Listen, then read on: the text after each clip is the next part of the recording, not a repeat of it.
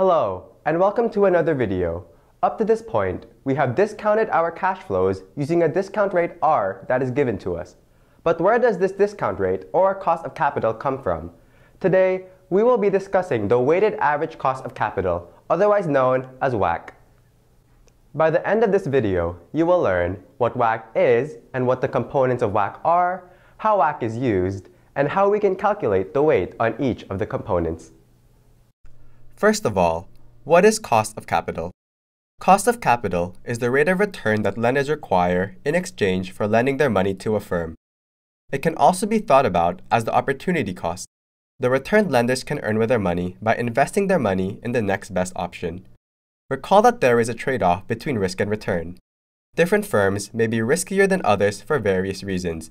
Maybe they're in a risky industry, like biotech, or a small startup that has not yet established their market position.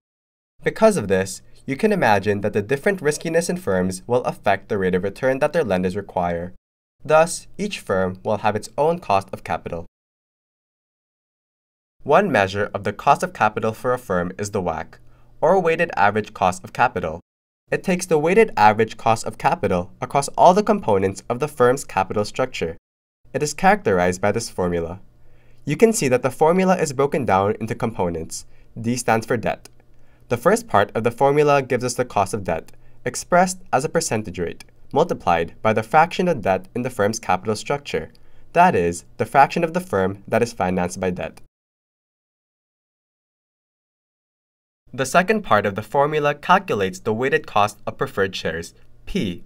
If a company does not have preferred shares, then we simply ignore this part of the formula. In the last component of the formula, E is for equity. This part calculates the percent return earned by common shareholders multiplied by the percentage of common equity in the firm's capital structure. The value of the firm, as denoted by V, is equal to the firm's assets.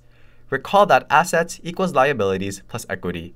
Therefore, V is equal to D plus E plus P. You may wonder what WACC is used for. It has two common uses. One is determining the cost of capital of new projects that the company wants to undertake. To use WACC, we must assume the new project has similar risk and capital structure as the rest of the firm. For example, if the project is a renewal project financed using the available assets of the firm, then we assume that the project will have similar risks and capital structure. If the project is an expansion project going into a new field that the company has never operated in, then the risks associated with expansion project may be different than the risk of the company.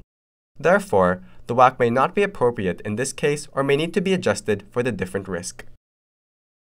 The second use of WACC is to be used as a discount rate when calculating the value of a company.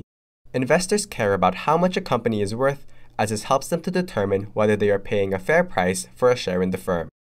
We can try to calculate this by estimating the company's future cash flows, since the earnings are in the future, we can use WACC, which reflects the average riskiness of the whole firm, as an appropriate discount rate to bring these earnings to present value. Let's revisit the WACC formula again. Now we will be learning about how to calculate the weights of each component of the capital structure. For now, capital structure will be given to you. If you take future corporate finance courses, the reason behind the capital structure and why companies maintain a specific capital structure will be discussed in much more detail. A company may express its capital structure as follows. We have $40 million of debt and $50 million of common shares. Or they may express it as this. Our company has a debt to equity ratio of 0.8. Assume for this example that the company has no preferred shares. Before we start calculating, always remember to use the market value of the debt and equity, never the book values.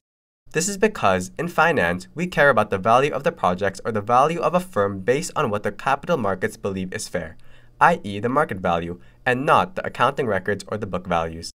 For example, the accounting records may tell us that the common shares have a book value of $30 million. But this is irrelevant to us because if the shares were actually to be sold on the stock market, they would go for $50 million.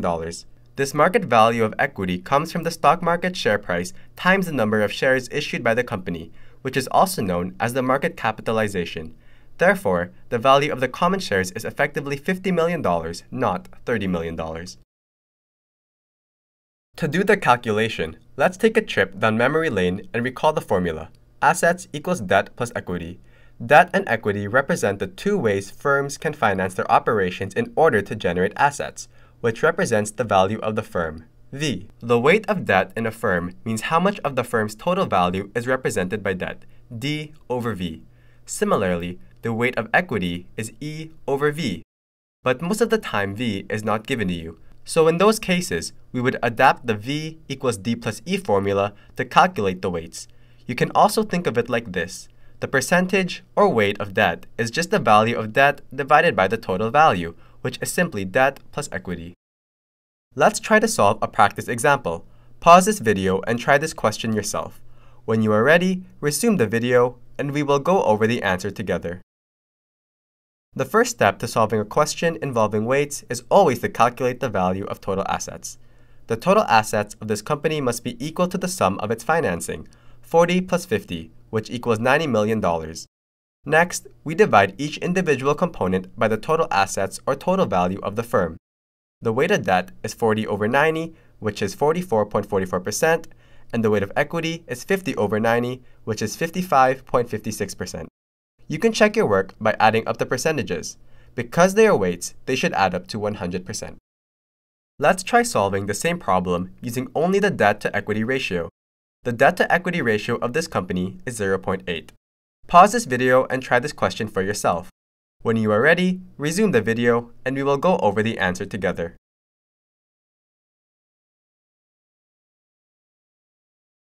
This question is slightly more complicated because it does not give you the exact numbers for you to add up the assets. First, in this question, we assume that there are no preferred shares, a company not having preferred shares is actually quite common, so just ignore the preferred shares part of the WACC equation. Debt to equity ratio is 0.8, which if we arrange that, we can know that D is 0.8E. If we assume that E is equal to 1, like $1 million, then D is 0.8. Now we can add up D and E to get a V of 1.8. Therefore, the weight of debt is 0.8 over 1.8, which is 44.44%, and the weight of equity is 1 over 1.8, which is 55.56%. Let's check our work again by adding up the weights.